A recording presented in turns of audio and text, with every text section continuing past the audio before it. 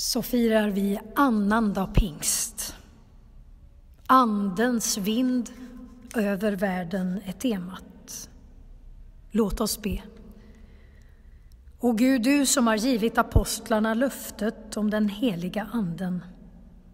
Ge ditt folk vad det i tro ber om och önskar, så att vi får del i din frid och frälsning genom din Son Jesus Kristus, vår Herre, som lever och verkar med dig och den heliga Anden från evighet till evighet. Amen.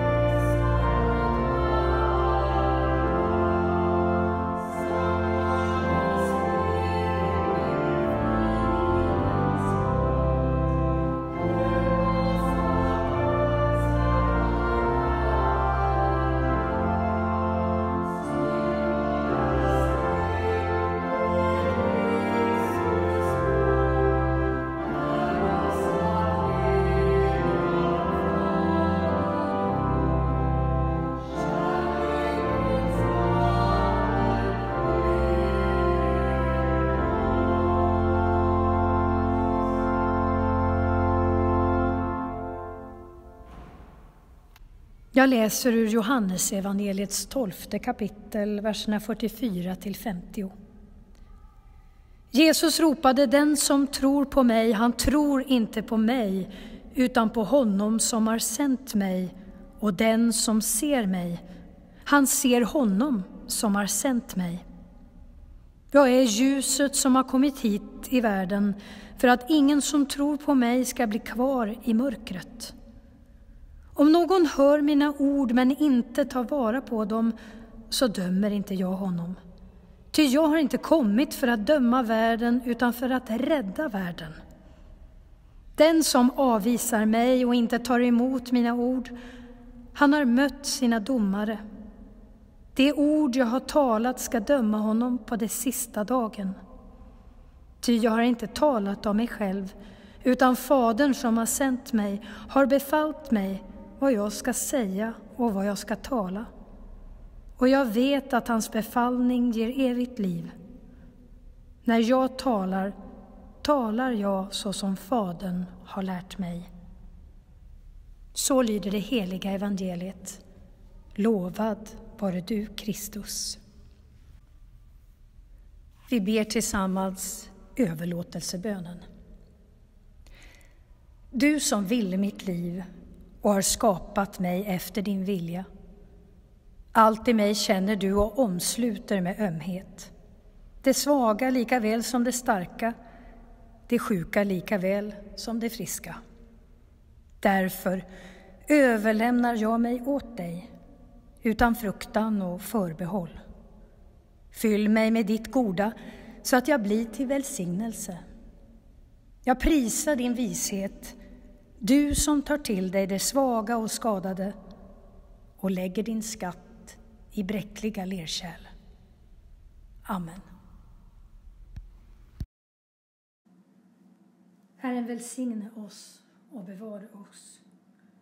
Herren låte sitt ansikte lysa över oss och vara oss nådig. Herren vände sitt ansikte till oss och give oss frid. I Faderns och Sonens och den heliga Andens namn. Amen.